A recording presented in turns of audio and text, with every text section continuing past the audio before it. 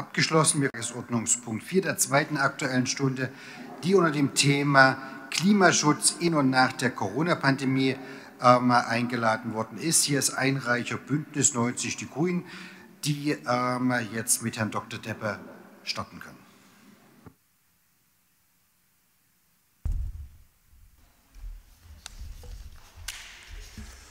Ja, sehr geehrter Herr Oberbürgermeister, sehr verehrte Kolleginnen und Kollegen, liebe Mitbürgerinnen und Mitbürger im Livestream. Seit sechs Monaten leben wir in der Corona-Krise. Die Bedrohung durch das Virus hat zu den drastischsten Einschränkungen des öffentlichen Lebens in der Geschichte der Bundesrepublik und in der Geschichte Dresdens seit der Wende 1989 geführt. Unsere Wirtschaft hat den größten Einbruch seit der Wende erfahren, mit teilweise existenzbedrohenden Auswirkungen für viele Menschen in unserem Lande. Die Corona-Krise ist noch nicht zu Ende, aber wir dürfen hoffen, dass wir das Schlimmste überstanden haben. Überstanden dank eines großartigen Zusammenstehens in der Gesellschaft und dank eines entschlossenen und umsichtigen staatlichen und kommunalen Handelns. Der Blick auf die Corona-Krise darf uns aber nicht davon ablenken, dass wir schon seit Jahren und auf eine Zeit hinaus, in der Corona schon fast vergessen sein wird, in einer noch viel größeren Krise leben, der Klimakrise. Die Erderwärmung und die Veränderung des Klimas schreiten rasch voran und wir können die Folgen auch in Dresden erleben. Mit unerträglich heißen Sommertagen, mit absterbenden Bäumen aufgrund der Trockenheit, mit ständig sinkenden Grundwasserspiegeln. Weltweit sind wir davon entfernt, weit davon entfernt, das 1,5 Grad Ziel zur Begrenzung der Erderwärmung zu erreichen, auf das sich die Staaten dieser Erde auf der Pariser Klimakonferenz 2015 verpflichtet haben. Neueste Untersuchungen zeigen vielmehr, dass wir uns gegenwärtig weiterhin auf einem Pfad bewegen, der zu der Horrorvision einer 4 bis 5 Grad Erderwärmung zum Ende dieses Jahrhunderts führen wird. Mit allen Folgen wie Überflutung weiter Landgebiete, auch in Europa, und Versteppung weiter Teile Deutschlands. Rasches Handeln zur Treibhausgasreduktion ist daher weltweit nach wie vor das erste Gebot der Stunde. Daran ändert auch die Corona-Krise nichts. Der Klimawandel legt keine Pause ein. Stattdessen gibt es aber derzeit eine Einstellung, die sagt, wir haben jetzt Wichtigeres zu tun. Wir müssen die Wirtschaft ankurbeln und dafür zum Beispiel auch den Verkauf von Autos mit Verbrennungsmotoren fördern. Haben wir nicht schon genug getan mit der Reduktion unserer CO2-Emissionen um mehr als 30 Prozent seit 1990? Sind jetzt nicht erst mal andere dran? Sicher können wir in Deutschland nicht allein das Klima retten. Aber wir stehen nach wie vor in einer besonderen Verantwortung. Mit 10 Tonnen CO2 pro Kopf und ja, sind wir nach wie vor relativ gesehen einer der größten CO2-Emittenten weltweit. Wenn wir nicht entschlossen handeln, werden es andere erst recht nicht tun. Dass wir entschlossen handeln können, wenn es darauf ankommt, hat uns aber die Corona-Krise gezeigt. Wirtschaftswachstum hatte plötzlich nicht mehr die erste Priorität. Die Menschen haben bewiesen, dass sie bereit sind, Verzicht zu üben und gravierende Einschränkungen ihres persönlichen Lebens zu akzeptieren, wenn es um das Leben und die Zukunft aller geht. Im Vergleich dazu sind die Veränderungen, die der Weg zur Klimaneutralität uns abverlangt, wesentlich geringer. Ja, im Gegenteil, sie schaffen sogar neue Lebensqualität. Was bedeutet das nun für uns in Dresden? Was können wir in Dresden tun? Nun, wir müssen schneller mit dem Einsatz erneuerbarer Energien vorankommen. Das Solardachprogramm muss ausgeweitet werden. Wir haben in Größenordnungen städtische Dächer, die mit Photovoltaikanlagen bestückt werden können. Und nach gut zehn Jahren haben sich diese Investitionen amortisiert. Meine Frau und ich, wir sind selber derzeit dabei, eine Photovoltaikanlage auf unserem Dach zu installieren.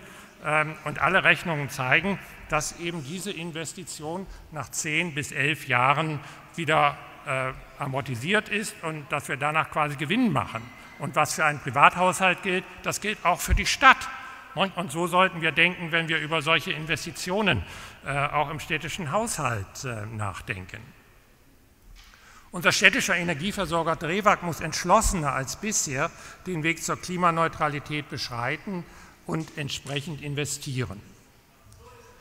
Wir brauchen einen Wärmeplan für die Stadt und müssen mehr investieren in die energetische Sanierung von alten Schulen, Kitas und anderen städtischen Gebäuden. Wir müssen die Bedingungen für den ÖPNV und Fahrradverkehr weiter deutlich verbessern um den motorisierten Individualverkehr nachhaltig zu reduzieren. Wir brauchen mehr Grün, gerade in überwärmten Stadtteilen, um das Stadtklima zu verbessern. Wir müssen mehr Grünanlagen schaffen, Straßenbäume pflanzen und Fassadendachbegrünung äh, bei Neubauten erreichen. Im Gegensatz zu dem, was manche so meinen, sind unsere Handlungsmöglichkeiten groß. Sie erfordern allerdings auch dafür eine ganze Menge Geld in die Hand zu nehmen. Was hier möglich ist im städtischen Handeln, hat die Corona-Krise in den letzten Monaten gezeigt. Es sollte uns ein Vorbild sein für die Bewältigung der noch viel größeren und länger wirkenden Krise des Klimas. Vielen Dank.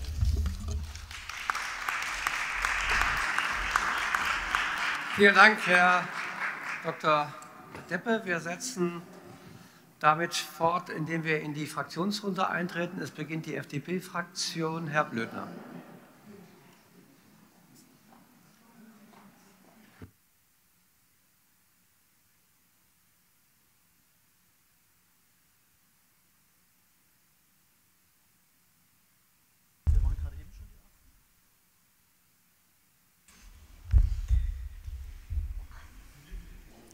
Ja, sehr geehrter erster Bürgermeister, sehr geehrte Kolleginnen und Kollegen, Aktuelle Stunde Klimaschutz in und nach der Corona-Pandemie. Wenn man ehrlich ist, hat die Corona-Pandemie zu einem sehr umfassenden Klimaschutz geführt. Die Fabriken wurden runtergefahren, der Verkehr hat sich halbiert, Flugreisen und Tourismus sind zwischenzeitlich quasi ausgesetzt worden, Konsum beispielsweise im Textilbereich hat sich deutlich reduziert.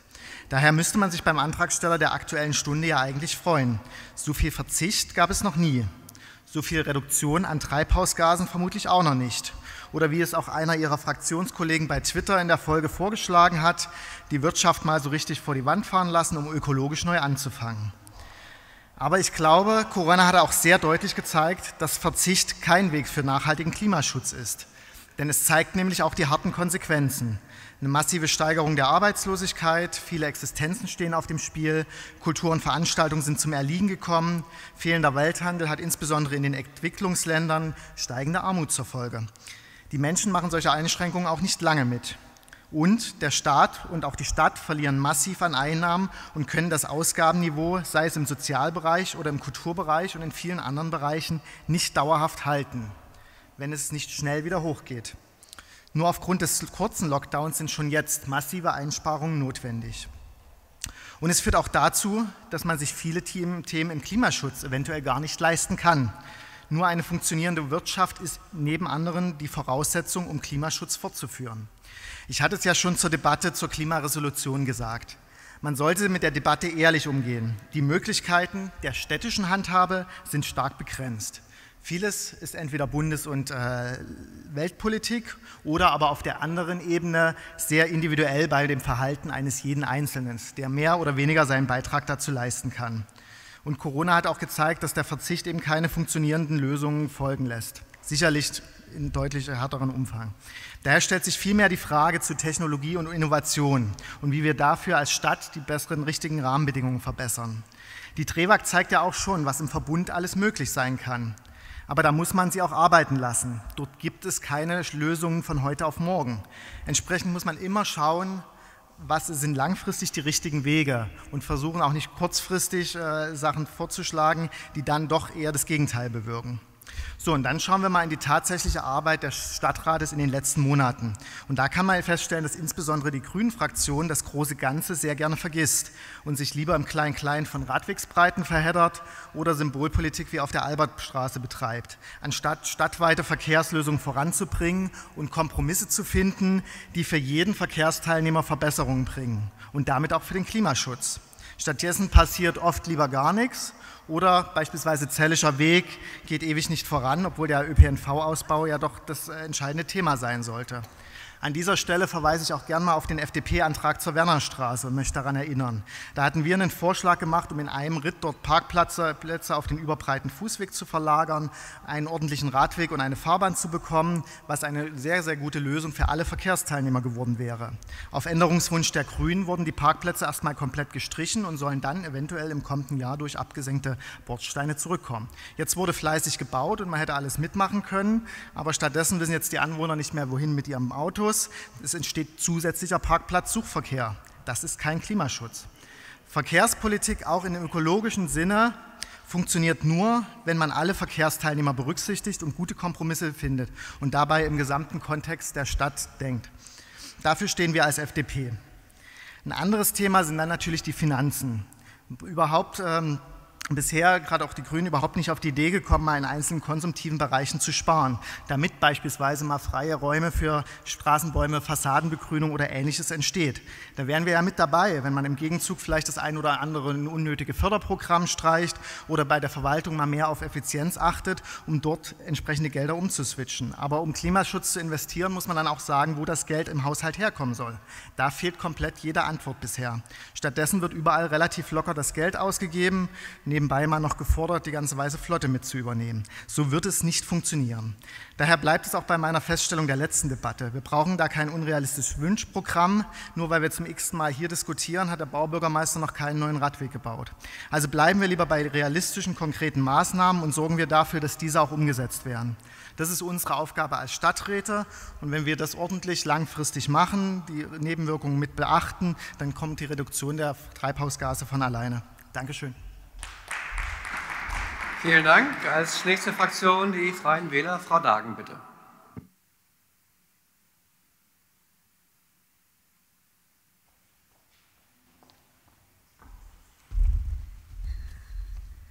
Sehr geehrter Herr Erster Bürgermeister, liebe Kollegen, in der Aktuellen Stunde, so können wir lesen, setzt sich der Stadtrat damit auseinander, wie nach Abklingen der Corona-Pandemie der Klimaschutz in der Landeshauptstadt Dresden entsprechend dem Stadtratsbeschluss von Ende Januar bezüglich des Klimanotstandes wieder zur städtischen Aufgabe von allerhöchster Priorität wird. Ob an einem Abklingen wirklich Interesse besteht, das sei dahingestellt. Wir sind heute wieder auch auf Wunsch der Grünen hier in der Messe. Die Maskenpflicht besteht fort, von Normalität kann meines Erachtens nach keine Rede sein. Aber natürlich muss man an die eigene Wählerschaft denken, man muss sie pflegen, man muss sie aktivieren, deren Probleme wie der vieler anderer weniger die des städtischen Klimaschutzes sind, eher doch wohl der eigenen existenziellen Situation. Gut, zur Begründung des Antrages. Wir können lesen, dass es in Dresden mehrere heiße und trockene Sommer gegeben habe, die zu einem Absterben von Bäumen im Straßenraum und in Parks im erstreckenden Ausmaß geführt habe. Der Grundwasserspiegel sinke rapide ab und die langfristige Wasserversorgung der Landeshauptstadt Dresden sei gefährdet, genauso wie die Gesundheit unserer Menschen. Also faktisch lese ich hier erst einmal nichts. Vor allen Dingen lese ich und empfinde ich eines, nämlich Angstmache, Hysterie, Hypermoral und jetzt kommt noch ein bisschen Aktionismus dazu. Rasches Handeln ist daher geboten, so ist die Forderung. Und dabei geht es zum Beispiel darum, die Folgen der Überwärmung und der Trockenheit durch bedeutend mehr Baumpflanzen abzumildern. So, jetzt machen wir mal den Faktencheck, so heißt das Neudeutsch. Kommen wir zum ersten Beispiel, Baumpflanzung. Zwischen 1994 und 2009 wurden pro Jahr in Dresden ca. 1500 Bäume gepflanzt. Ab 2011 gingen die jährlichen Zuwachsraten wegen finanzieller Zwänge und verschiedenster Restriktionen zurück. Sie schwanken nun zwischen 800 und 350 Bäumen pro Jahr. Das kann man so nachlesen in der Vorlage 241-20 zur Fortschreibung des Straßenbaumkonzeptes. Sie haben es alle auf den Tisch legen, heute noch auf der Tagesordnung. Und gern verweise ich jetzt schon auf unseren Änderungsantrag. Wir lieben nämlich Bäume. Seit 2012 bestimmen die Grünen bei den Beschlüssen zum Haushalt der Stadt maßgeblich mit, zuerst mit SPD, CDU, dann mit SPD und Linken. Seit 2005 stellen die Grünen zudem die zuständigen Bürgermeister für Umwelt und Stadtentwicklung, Bau und Verkehr. Nun ziehen wir mal ins Fazit. Im Ergebnis werden nämlich viel weniger Bäume gepflanzt als in den Jahren, in denen eine bürgerliche Mehrheit von CDU, FDP, verschiedenen Bürgerfraktionen sowie deren Beigeordnete die Stadtpolitik bestimmt haben. Nächstes Beispiel, überwärmte Innenstadt. Ja, die Innenstadt ist überwärmt. Daher wäre es nötig, konsequent auf Grün und ich meine Stadtgrün zu setzen. Sie kennen die Prager Straße, aber besser noch, der Ferdinandsplatz ist doch eine wunderbare Gelegenheit, dort eine grüne Oase mit Bäumen, Wasser und frischer Luft zu schaffen. Der eine oder andere kann sich vielleicht noch an den Skulpturenpark erinnern. Es gibt ja hier auch ein paar Dresdner unter uns. Gut, aber was wollen die Grünen? Die wollen hier lieber Beton, Stahl und Glas und sie wollen einen Verwaltungspalast bauen und dafür auch noch Schulden machen, die dann kommende Generationen mühsam bezahlen dürfen. Tja, ich nehme gerne jetzt mal Frau Dr. Vogel die Worte aus dem Mund. Ich glaube, das ist dann hier eine sprichwörtlich hohle Phrase. Drittes Beispiel. Ach ja, das Lieblingskind, der Radverkehr. Ich nehme mir mal einen Beschluss des Stadtrates vom 12. Februar 2009. Dort wird nämlich die Oberbürgermeisterin beauftragt, eine genehmigungsfähige Planung für den Elberadweg zwischen Altwachwitz und Pillnitz vorzulegen und dafür zu sorgen, dass mit dem Bau, naja, 2011 begonnen werden kann. Es gibt eine Beschlusskontrolle vom 30. Juni diesen Jahres, elf Jahre später, davon neun Jahre mit maßgeblichem Einfluss der Grünen in Dresden. Ich zitiere, derzeit erfolgen die Auswertung bzw. die Abwägung der eingegangenen Stellungnahmen sowie weiterführende Abstimmung und so weiter. Sie kennen das. Beschlusskontrolle, nächster Termin, 30. Juni 2021. Dem einen oder anderen wird wahrscheinlich heute schon klar, dass auch morgen nichts passieren wird. Wir haben momentan einen Feingrund, die Pandemie, Corona. Ja, diese Beispiele, die ließen sich endlos fortsetzen. 2011 gab es im Übrigen schon einmal eine Auflistung nicht erfüllter Ratsbeschlüsse. Damals waren das 40 Seiten, nicht wenige davon betrafen die Fragen der Umwelt. Ja, und nach acht Jahren grüner Mitbestimmung ist dieses Ergebnis ein Desaster. Viele Worte, viele Beschlüsse, viele Bäume, die sterben mussten. Ja, Karl der Käfer wurde nicht gefragt, damit auf dem Papier mal wieder die Welt gerettet würde. Ja, in der Praxis passiert allerdings wenig. Wir meinen als Freie Wähler, was Dresden benötigt, sind eben nicht weitere aktuelle Stunden wie diese, weitere Beschlüsse, die niemals umgesetzt werden, sondern ich glaube mehr Ehrlichkeit und auch mehr Druck von uns Stadträten auf die Verwaltung, dass die getroffenen Beschlüsse endlich umgesetzt werden. Angstmache mag ja ein gängiges politisches Geschäftsmodell sein und gerade auch Hochkonjunktur bei den Grünen haben, aber wir lehnen das ab. Wir, die Freien Wähler, setzen auf mündige Bürger, auf unsere Wählerschaft. Vielen Dank. Vielen Dank. Als nächstes die CDU-Fraktion. Herr Böhm, bitte.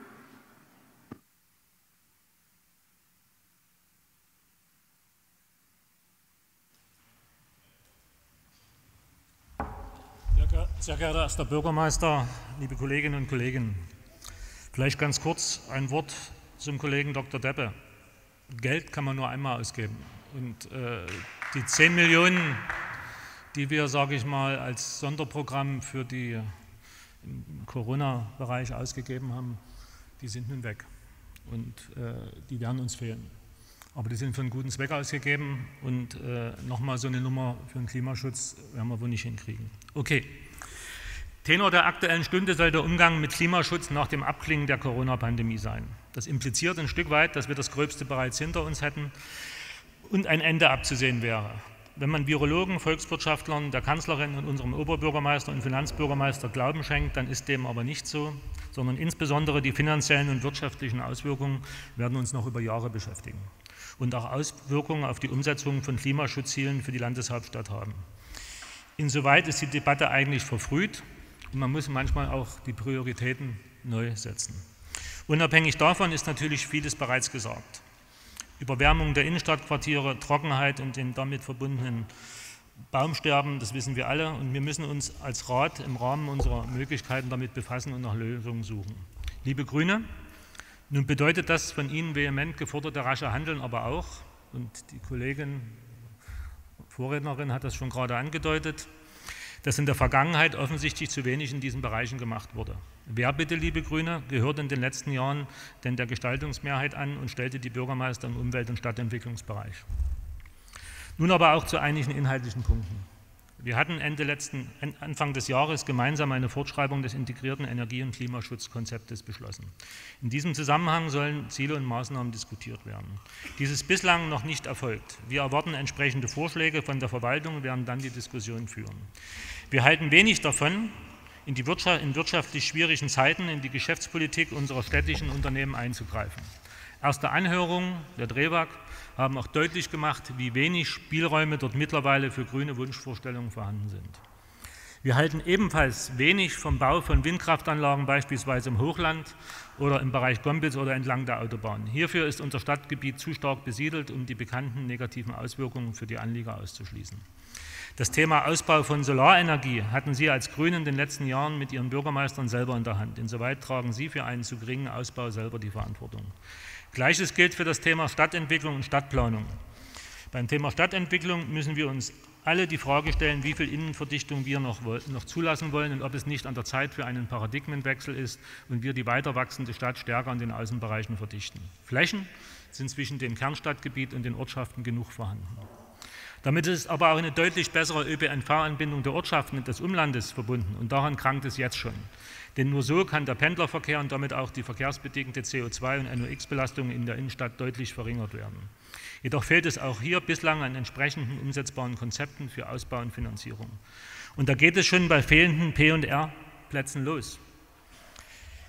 Auch hier, liebe Grüne, steht ihr seit Jahren selber in der Verantwortung. Neben einer besseren Anbindung der Ortschaften sind für uns insbesondere Klimaanpassungsmaßnahmen wichtig, wie beispielsweise unsere Unterstützung für das Straßenbahnkonzept und unser heutiger Antrag für mehr Stadtgrün auf privaten Flächen zeigen. Wir werden in Kürze in die Haushaltsverhandlungen starten. Dann ist der richtige Zeitpunkt, über machbare Maßnahmen und deren Finanzierung zu beraten. Da gilt es dann abzuwägen zwischen den Forderungen nach mehr Klima- und Umweltschutz und den städtischen Pflichtaufgaben sowie den anderen Forderungen und Wünschen von Bildungs-, Sozial-, Kultur-, Sport-, Wirtschaftsbau- und Umweltpolitikern. Liebe Grüne, kommen Sie gern mit Vorschlägen für geeignete Klimaanpassungsmaßnahmen und deren Finanzierung, insbesondere auch deren Finanzierung, auf uns zu. Eines ist jedoch klar, genau wie vor Corona ist uns auch während und nach Corona eine seriöse und solide städtische Investitions- und Haushaltspolitik wichtig. Vielleicht noch ein letzter Satz. Über die Prioritäten für Klima- und Umweltschutz entscheiden vordringlich die verantwortlichen Bürgermeister mit deren Wichtung in ihren eigenen Budgets und Dezernaten. Wer trägt nochmal die Verantwortung in den dafür insbesondere besonders wichtigen Bereichen Umwelt, Bau und Verkehr? Danke. Vielen Dank. Als nächstes die AfD-Fraktion. Herr Braun, bitte.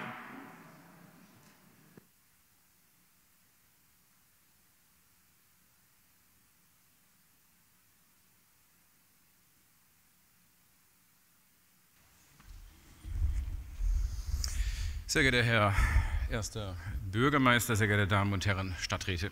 Elf Monate fiel praktisch kein Regen. Die Temperatur lag fünf bis sieben Grad über den Normalwerten des 20. Jahrhunderts. Verbreitet muss die Temperatur im Hochsommer über 40 Grad geklettert sein. Unzählige Waldgebiete in Europa gingen in Flammen auf. Beißender Rauch trübte das Sonnenlicht. Im ganzen Sommer wurde kein einziges Gewitter registriert. Schon im Mai wurde das Wasser knapp, Brunnen und Quellen fielen trocken, die Mühlen standen still, die Leute hungerten, das Vieh wurde notgeschlachtet. Die Rede ist natürlich nicht von Sommern der letzten Jahre, sondern vom Katastrophenjahr 1540. Schätzungsweise eine halbe Million Menschen soll dieser, sollen dieser Dürre in Europa zum Opfer gefallen sein. Wie Oliver Wetter in seinem Buch die beispiellose, beispiellose Hitze und Dürre von 1540 ein Katastrophenszenario schreibt. Wem meine vorangegangenen Ausführungen bekannt vorkommen, täuscht sich nicht. Sie entstammen einer Rede des vormaligen AfD-Stadtrats Jörg Urban vom 20.09.2018 zur von den Grünen beantragten Aktuellen Stunde zum Thema Konsequenzen aus Hitze und Dürre in Dresden. Was muss die Landeshauptstadt tun? Ich hätte auch aus der AfD aus der AfD-Rede zur von den Grünen beantragten Aktuellen Stunde zum Thema, wie kann Dresden bis 2035 zur klimaneutralen Stadt werden, von 2019 zitieren können. Oder von der Aktuellen Stunde zum Thema Starkregen, Hitze, Hochwasser. Wie reagiert die Stadt auf den Klimawandel von 2017? Wenn sich die Grünen wiederholen, wie Herr Dr. Deppe wieder eindrucksvoll dargelegt hat, können wir das auch.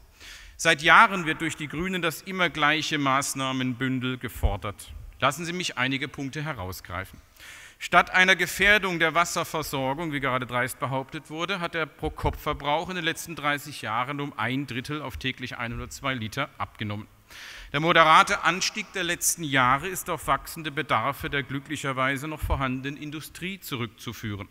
Einschneidende Maßnahmen, wie immer wieder von Herrn Dr. Deppe gefordert, führen entweder zu drastischen Benachteiligungen für den Wirtschaftsstandort Dresden oder gehen zu Lasten der Lebensqualität der Dresdner Bürger.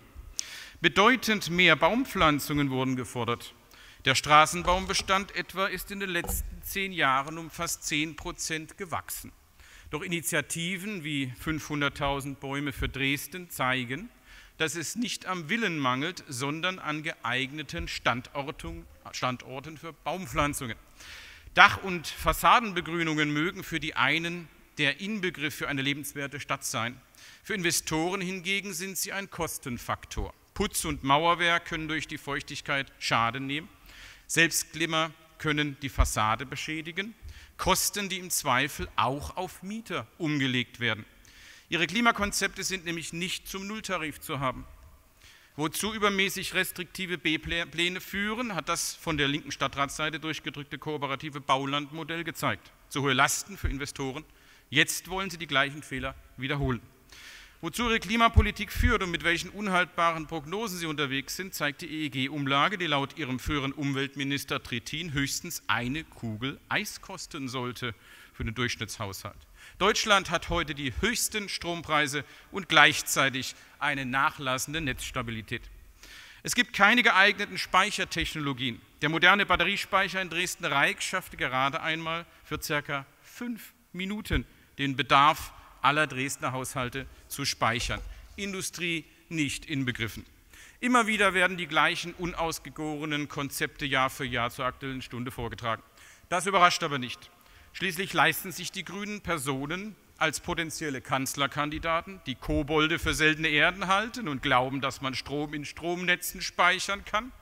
Oder sie haben führende Parteivertreter, die zum Eisessen nach Kalifornien jetten oder fröhlich ein Happy Meal verspeisen, während sie Fastfood-Werbung verbieten wollen, Wasser predigen und Wein trinken. Das alles ist nicht neu, das hat die AfD-Fraktion hier im Stadtrat immer wieder betont. Neu ist hingegen die aktuelle Situation um Corona. Wir erleben einen historischen wirtschaftlichen Einbruch mit einem deutlichen Anstieg der Kurzarbeit und Arbeitslosigkeit. Viele Menschen blicken sorgenvoll in die Zukunft. Das ist die aktuelle Herausforderung, der wir uns stellen, zu stellen haben. Die grünen Forderungen laufen letztlich auf einen permanenten Klimalockdown hinaus. Ihr grüner Fraktionskollege Schlick hatte ja bereits im April diesen Jahres gefordert, die Wirtschaft jetzt mal gegen die Wand zu fahren. Werden die grünen Maßnahmen flächendeckend umgesetzt, wird die Wettbewerbsfähigkeit Schaden nehmen. Die Bürger haben noch mehr Abgaben, Steuern und höhere Lebenshaltungskosten zu schultern und dem Klima, das sie ja vorgeblich retten wollen, wird dadurch nicht geholfen. Die realisierten Einsparungen an CO2 werden überkompensiert durch aufstrebende, wirtschaftlich erfolgreiche Länder wie China, Indien, Brasilien oder Indonesien, während Deutschland dadurch nur als ein Beispiel für die Welt dient, wie man es gerade nicht macht. Vielen Dank. Als nächste Fraktion die Linke, Frau Dr. Geitsch.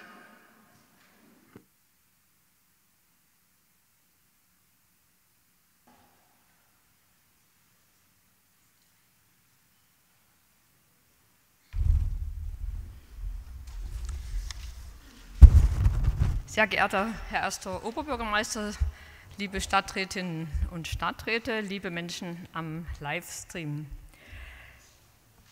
Ich wollte eigentlich die Finanzen nicht an den Anfang stellen, aber da die heute schon massiv angesprochen wurden, äh, auch dazu ein paar Worte. Natürlich können wir Und das kann jeder, jeden Euro nur einmal ausgeben. Aber gerade die Pandemie hat uns gezeigt, dass es bitter Not tut, das Finanzsystem insgesamt in Deutschland vom Kopf auf die Füße zu stellen.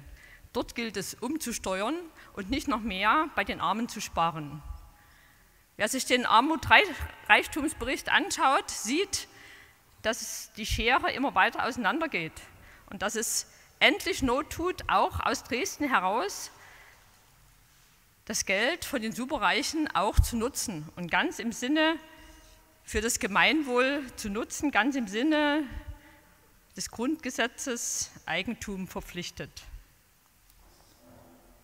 Wir können hier aus Dresden tatsächlich einiges dazu tun, sowohl im Bund-Länder Finanzausgleich hinzuwirken und wir können im Städtetag darauf hinwirken und wir können, und das als Appell an SPD und CDU, wir können die Regierung auffordern, endlich entsprechend zu handeln und auch Fonds sowohl für Soziales als auch für die Umwelt zur Verfügung zu stellen.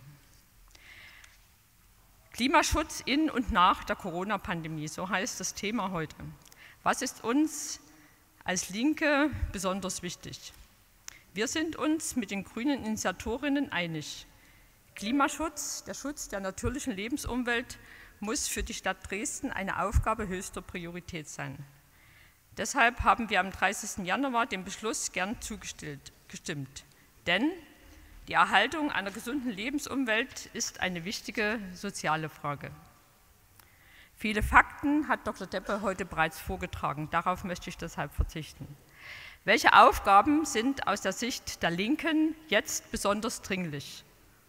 Und nebenbei kurbelt das auch, wie schon oft beschworen, heute die Wirtschaft an. In der Pandemie wurde mehr Fahrrad gefahren. Das Fahrrad als Transportmittel wurde wiederentdeckt. Aber unsere Pläne für, den, für das durchgehende Fahrradwegenetz liegen immer noch mehr in der Schublade, als dass sie umgesetzt werden. 2018 hat der ADFC eine Umfrage gestartet, bei der 75 Prozent der FahrradfahrerInnen sich im Straßenverkehr gefährdet fühlen. Dort muss endlich etwas getan werden. Die Sicherheit der Fahrradfahrenden muss endlich erhöht werden.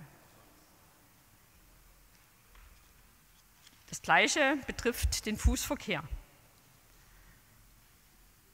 Es geht um den Bau von Kreisverkehren zum Beispiel mit markierten Fußgängerüberwegen. Es geht um Fahrrad, äh, Fahrrad und fußfreundliche Ampelschaltungen. Das wiederum senkt auch den CO2-Ausstoß der Autofahrenden, weil wenn man durchgängig fahren kann, es deutlich weniger Feinstaub als auch SOX produziert. Wir wollen das Sozialticket stärken. Wenn wir heute schon mehrfach den Doppelhaushalt angesprochen haben, ist das ein wichtiger Punkt, entsprechend die Finanzen wieder einzustellen. Die DREWAG spielte heute schon eine Rolle.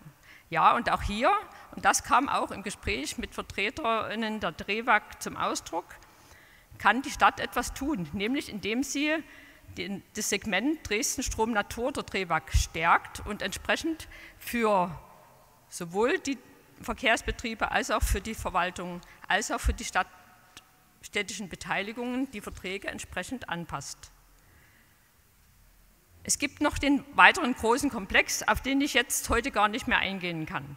Es ist die Frage Solarenergie, es ist die Frage Frischluftschneisen. Da haben wir heute noch mal die Möglichkeit, in der Frage Fortschreibung Straßenbaukonzept etwas dazu zu sagen. Und es hat natürlich äh, es ist natürlich notwendig, die Potenziale der Bauleitplanung auszuschöpfen.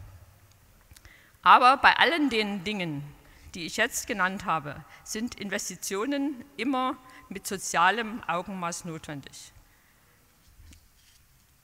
So wie bei der Braunkohleverstromung, die ja eingestellt werden muss und soll für Arbeitsplätze neue Arbeitsplätze geschaffen werden, müssen wir hier in Dresden immer bei allen Maßnahmen das Wohl der Menschen, die hier in dieser Stadt leben und insbesondere derer, die nicht mit Euros um sich, schlagen, äh, um sich werfen können, besonders ähm, im Auge haben. Dankeschön. Vielen Dank. Für die SPD-Fraktion Herr Engel, bitte.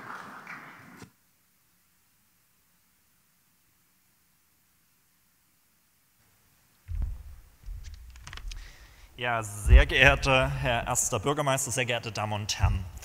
Ähm, ich empfand die Debatte jetzt stellenweise als fast, fast schon erwartbar an vielen Punkten. Das ist irgendwie fast schön. Also wir haben über das Thema an der Stelle ja offenbar schon einige Male auch diskutiert. Ähm, ich würde gerne zu Anfang auf den ähm, Redebeitrag von Frau Dr. Geitsch noch mal kurz eingehen. Natürlich kann man immer sagen, ja, man kann auf den Bund zeigen und sagen, ja, da muss mehr gemacht werden, äh, möge das Geld mal auf uns da niederrieseln. Aber ich möchte auch darauf hinweisen, dass in dem Bereich ja schon einiges passiert.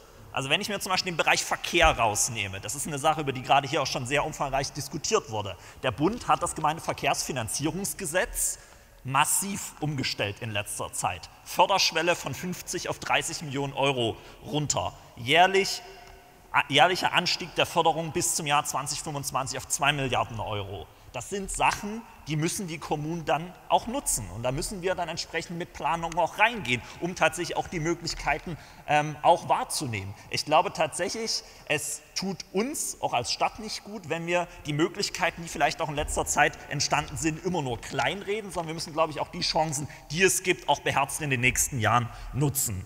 Und da möchte ich tatsächlich auch zu den drei Kernpunkten kommen aus Sicht der SPD-Fraktion. Ähm, aus unserer Sicht ist es sehr, sehr relevant, Klimaschutz ähm, wirklich in der kompletten Breite auch zu erfassen, wirklich zu gucken, was sind denn eigentlich unsere Ziele in den unterschiedlichen Sektoren. Weil wir sprechen bei Energie, also wir sprechen bei Klimaschutz sehr, sehr oft nur über Energieversorgung. Wie wird Strom produziert? Aber ich glaube, wir müssen da ein bisschen breiter diskutieren. Wenn man sich nämlich anschaut, wie sich Klimaschutz auch in den nächsten Jahren entwickeln soll, da haben wir in einigen Bereichen schon recht gut, äh, gute Fortschritte gemacht zum Beispiel beim Thema Gebäude, auch durchaus bei Einsparungen in der Industrie. Wir haben aber zum Beispiel massiven Nachholbedarf nach wie vor bei CO2-Einsparungen im Bereich Verkehr und auch bei der Energieproduktion selbst. Und ich glaube, das sind tatsächlich auch Lehren, das kann man auch in diversen Klimaschutzpapieren der Bundesregierung nachlesen, die müssen wir auch hier in Dresden dann vor Ort auch umsetzen. Und Herr Blödner, Sie haben ja so ein bisschen gesagt, ja, da können wir dann nicht so viel machen. Ich glaube, bei sowas wie Verkehrspolitik haben wir als Stadt sehr, sehr viele Möglichkeiten, wie wir gestalten können. Natürlich können wir das nicht alleine finanzieren, aber ich glaube schon, dass wir da als Stadt ähm, auch eine Pflicht haben, unseren Beitrag zu leisten. Das soll uns natürlich nicht davor bewahren, auch Appelle auf andere Ebene zu richten. Nein, natürlich nicht. Aber ich glaube schon, dass wir auch gut daran tun, da unseren eigenen Beitrag zu leisten. Und aus meiner Sicht ergibt sich da gleich ein zweiter Punkt, der für die SPD-Fraktion auch zentral ist. Klimaschutz ist auch eine Bereiche, ist auch eine Aufgabe für alle Bereiche der Stadtverwaltung. Das wird nicht damit getan sein, dass wir im Stadtrat immer sagen, ja, die beiden Geschäftsbereiche sollen ihre Arbeit machen und dann ist alles gut. Ich bin auch nicht mit allem zufrieden, will ich jetzt auch nicht hinter Berg halten. Aber trotzdem es, hängt es am Ende vom Zusammenwirken aller Geschäftsbereiche auch ab, damit wir da wirklich spürbar vorankommen. Und natürlich muss es am Ende auch so sein, dass sich ein Straßenbaumkonzept, was wir hoffentlich heute noch beschließen werden, dann zum Beispiel auch in konkreten Sanierungsvorhaben auch widerspiegelt. Und dass ich dann halt zum Beispiel auf einem Bischofsplatz mal spürbar mehr Bäume habe und nicht äh, ja nur so eine klägliche Steigerung wie aktuell in dem Entwurf vorgesehen. Das sind so ganz konkrete Konsequenzen, die wir dann, glaube ich, auch ziehen müssen. Und aus Sicht der SPD-Fraktion ist noch ein dritter Punkt äh, zentral. Klimaschutz ist immer auch eine soziale Frage, weil es geht beim Klimaschutz sowohl darum, bei der Durchführung die soziale Frage nicht aus dem Blick zu verlieren, nicht bestehende Ungerechtigkeiten noch stärker, noch größer werden zu lassen, sondern es geht eben auch darum, ähm, einen guten Umgang mit den Folgen auch zu bekommen. Denn wer wird denn zuerst auch von den Klimafolgen dann getroffen? Das werden nicht die Leute sein, die äh, möglicherweise sich einen neuen Wohnort suchen können, die möglicherweise ähm, ein Penthouse mit einer tollen Klimaanlage werden. Das werden tendenziell die Leute sein, denen es vielleicht nicht so gut geht. Das sollte man, glaube ich, bei Klimaschutz auch immer ein bisschen im Hinterkopf behalten. Und wenn wir diese Maßgaben im nächsten Doppelhaushalt auch beachten, dann bin ich guter Dinge, dass wir auch einen äh, spürbaren Schritt vorankommen. Vielen Dank. Vielen Dank. Nach Ende der Fraktionsrunde spricht für die Verwaltung Herr Kollege Schmidt-Lamontaine zum Abschluss dieser Aktuellen Stunde. Ja, vielen Dank. Vertretungsweise für den Geschäftsbereich 7, aber wie es der Zufall will, habe ich mich in letzter Zeit ja auch noch viel stärker als sonst mit dem Thema Klimaschutz beschäftigt. Bevor ich sozusagen hier die Position des GB7 vortrage, will ich zumindest so zu zwei, drei Stichworten, die gerade gefallen sind, auch aus meinem Geschäftsbereich noch mal kurz was sagen, um mich dann nicht äh, des Verdachtes ähm, auszusetzen, auf gewisse Fragestellungen nicht antworten zu wollen. Radverkehr, wir haben oft gehört, es muss endlich was getan werden. Wir tun was. Und zwar ist es so, dass wir seit Beschluss des Radverkehrskonzeptes 60 Maßnahmen umgesetzt haben, derzeit 125 Maßnahmen in Vorbereitung haben. Ähm, es gibt natürlich auch Maßnahmen, die ruhen. Man kann nicht alles auf einmal machen. Äh, warum sieht man so wenig im Stadtbild? Das ist ganz einfach. Wir haben uns bei der Erarbeitung des Radverkehrskonzeptes mit Fachleuten gemeinsam einem runden Tisch darauf verständigt, dass die Priorität 1 Maßnahmen, die mit höchster Dringlichkeit und schnellstmöglich umgesetzt werden sollen, die Maßnahmen sind, die das Thema Verkehrssicherheit betreffen. Das sind oftmals kleinteilige Maßnahmen, die sind nicht so augenscheinlich wie eine Querung am Günstplatz oder ähnliches. Die sind komplex, schwierig umzusetzen, mit vielen Belangen, die betrachtet werden müssen, schwierig in der Vorbereitung, ähm, aber nicht so sichtbar wie ein mehrere hundert Meter langer Radfahrstreifen. Das ist schade unter Marketing-Gesichtspunkten, wenn man das in der Öffentlichkeit zu vertreten hat, aber unter inhaltlichen Gesichtspunkten, ähm, unter Einbezug der Experten, die richtige Herangehensweise. Ähm, Elberadweg, der seit Jahren ruht. Warum ruht er denn? Er ruht wegen der Entscheidung, die Waldschlösschenbrücke zu bauen und der gerichtlichen Feststellung, dass der, die, der Bau der Waldschlösschenbrücke elementare Umweltrechte verletzt hat. Und das gesamte Umfeld der Waldschlösschenbrücke dementsprechend auch neu betrachtet werden muss unter Umweltgesichtspunkten, wo der Geschäftsbereich 6 und 7 seit fünf Jahren versuchen, einen Scherbenhaufen aufzukehren und jetzt sozusagen eine erneute Planfeststellung nachträglich für die Weltschlösschenbrücke zum Abschluss zu bringen. Und deswegen können wir jetzt auch erst die Maßnahme des Elberadweges auf der Johannstädter Seite wieder anschieben. Das ist so. Damit muss man irgendwie umgehen und das führt dazu, dass gewisse Dinge dann im Umfeld der Waldschlösschenbrücke auch mal ruhen. VWZ Klar kann man die Haltung einnehmen, es wäre schön, wenn dort ein Park entsteht. Ich wäre auf die Debatte gespannt gewesen, wenn wir als Verwaltung vorgeschlagen hätten, die vielen Stellplätze dort wegzunehmen, um einen Park einzurichten. Wäre vielleicht ein Experiment wert gewesen. Ähm, wie solche Diskussionen ausgehen, konnten wir ja ganz gut sehen bei der Frage, Stellplätze wegzunehmen am Pyrnaischen Platz für die Schaffung des Promenadenrings. Ähm, also ob das sozusagen eine mehrheitsfähige Position gewesen wäre, würde ich mal in Frage stellen. Aber ich will ja eigentlich zum Thema Klimawandel reden. Klimawandel ist die zentrale Herausforderung für unsere Gesellschaft, insbesondere auch vor der Frage der Generationengerechtigkeit. Wir reden also über die Frage, wie wollen wir eigentlich diesen Planeten unseren Kindern oder Enkelkindern übergeben. Und wenn man dann mal die letzten Jahre auswertet und guckt, wozu der dramatische Anstieg ähm, äh, des, oder nein, wozu der Klimawandel eigentlich zurzeit hier in Dresden führt, ist es so, dass wir jetzt den dritten trockenen Sommer in Folge haben, einen dramatischen Anstieg von Verlusten von Straßenbäumen verzeichnen. Während wir im Jahr 2017 noch den Verlust von 78 Straßenbäumen hatten, haben wir im Jahr 2020 den Verlust von 750 Straßenbäumen, also den Faktor 10. 200 davon alleine in Parkeinlagen und dort vor allem auch große Altbäume. Zusätzlich dazu kommt ein Baumverlust in Wäldern. 300 3200 Festmeter haben wir allein in 2020 verloren. Der Grundwasserspiegel wurde vorhin auch schon angesprochen, liegt zurzeit einen halben Meter unter dem langjährigen Mittelwert, den wir zu dieser Jahreszeit üblicherweise haben. Dazu kommen gesundheitliche Belastungen. Klimaerwärmung belastet das Herz-Kreislauf-System. Es gibt Modellberechnungen des Umweltbundesamtes, nach denen ein Grad Celsius Erwärmung circa 5000 zusätzliche Sterbefälle pro Jahr hervorruft. Wenn man das runterbricht auf Dresden und sagt, wir nehmen die 2 Grad Erderwärmung an, bedeutet das 70 zusätzliche Todesfälle pro Jahr. Also insofern schon elementare Auswirkungen auf das Alltagsleben von uns allen. Was tun wir als Verwaltung? Wir schreiben derzeit das Energie- und Umwelt-, Umwelt und Klimaschutzkonzept fort. Die Vergabe wird gerade vorbereitet, erfolgt Ende 2020. Sie haben vorab darum gebeten, dass wir vor Beginn der Beratung zu, zu Ihren Haushaltsklausuren einen Zwischenbericht mit kurzfristig zu realisierenden Klimaschutzmaßnahmen erstellen und deren Finanzierung, der wird in Kürze vorgelegt. Ähm, und ab Herbst 2020 stellen wir außerdem die Auswirkungen auf Treibgasemissionen und Stadtklima aller Stadtratsvorlagen in den Vorlagen vor, sodass Sie dann entsprechend auch wissen, worüber Sie hier eigentlich entscheiden. Gerade in der Innenstadt, auch das wurde angesprochen, haben wir oft das Spannungsfeld zwischen Nachverdichtung und Großgrün. Und weil wir die Entwicklung der Stadt hier nicht ausbremsen wollen, ist es so, dass wir umso mehr entsprechende Ausgleiche für das, was wir tun und Kompensation für das, was wir tun, brauchen. Und ganz ehrlich, das fiel eben auch schon, das Ausweichen und das Ausweiten in Landschaftsschutzgebiete hinein kann ja nun irgendwie auch nicht die Lösung sein. Insofern haben Sie den Mut für die Haushaltsplanberatung, lassen Sie sich durch diese kurzfristige Krise, die wir derzeit durchleben, nicht die Vision für eine gemeinsame globale Zukunft rauben und diskutieren Sie bei, der bei den Haushaltsklausuren nicht nur über die Frage, wie wir mit der Corona-Pandemie umgehen wollen, sondern auch über die Frage, wie wir den Klimaschutz in der Zukunft bewältigen wollen. Vielen Dank.